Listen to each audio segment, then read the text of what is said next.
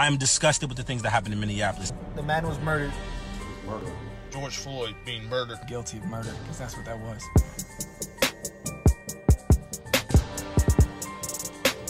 I am disgusted with the things that happened in Minneapolis. Pure point blank, things could have went way different. At the end of the day, let's talk facts. Guy is on the ground. He's laying on his stomach. He have handcuffs on. It's four of y'all, one of him. Four of y'all, one of him. Who has control of the situation? As an officer, you are a first responder, right? So if in the midst of you trying to gain compliance, someone is hurt, you have to render aid. So somebody saying, I can't breathe, I can't breathe, I can't breathe, you don't think to yourself and say, oh my gosh, this guy can't breathe, he might die. If I see wrong happening, wrong is not happening in my presence, right? I'm going to check it. And that's period. The man was murdered. Nowhere in mechanics of arrest are we ever taught to put our knees onto somebody's neck slash throat area, especially for that long. And the three officers standing around watching that happen, y'all are at fault too. Y'all could have told the man, get off him, he can't breathe. I mean, you're hearing him say it, it should have never gone that way. Rest in peace, George Floyd, for real. I've seen the video of George Floyd's murder, that's what I believe it was, murder by a police officer, and I'm not okay with that. I am not okay with somebody in my profession doing something like that to another being. The man goes unconscious and they don't even provide CPR or aid to him. They continue to kneel on him. That is not okay.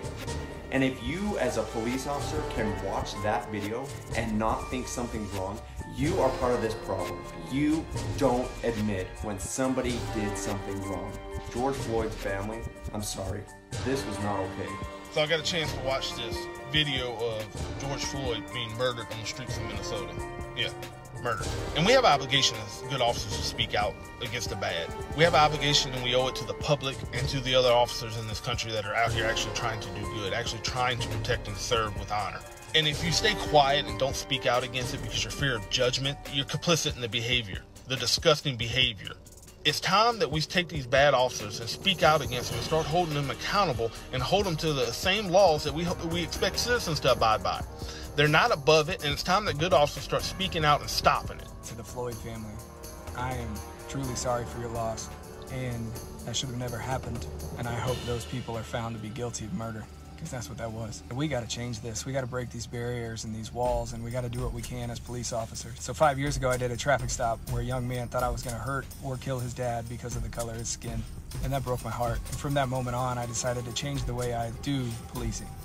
I let them see who I am underneath this vest and who I am underneath this badge, so the innocent people don't have to fear me anymore, because that's not what we signed up for. So I challenge the other law enforcement officers: get out of your car and get to know.